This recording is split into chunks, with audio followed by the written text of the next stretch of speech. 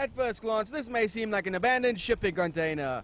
Step inside though and it's a different story, because this is said to be the first known shipping container fish farm in the world.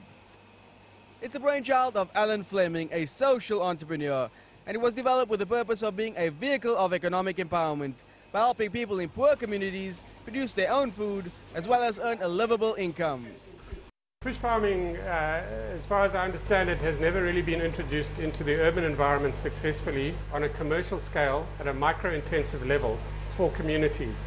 Uh, putting uh, tanks into a, into a container immediately makes the fish farm lockable, transportable if you need to move it around, um, and profitable. So it answered a lot of a lot of questions about how do we get fish farming into communities and get them economically active growing food right close to where they live.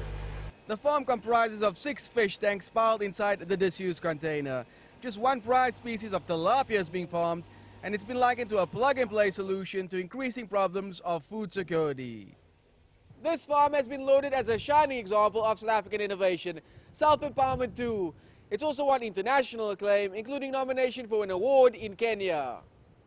Community upliftment and job creation is also a major benefit of the fish farm.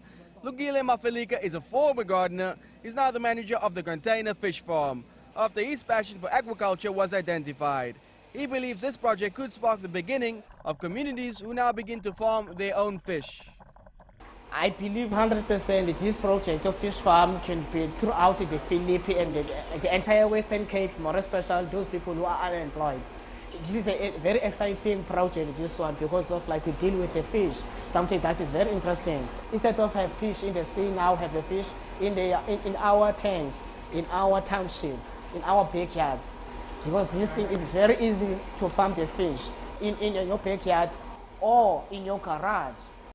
For now, the container fish farm may seem like a rudimentary approach to farming methods, but it does create sustainable food sources and jobs for disadvantaged communities and their fish is ending up in some of the city's finest restaurants. Travers Andrews, CCTV, Cape Town.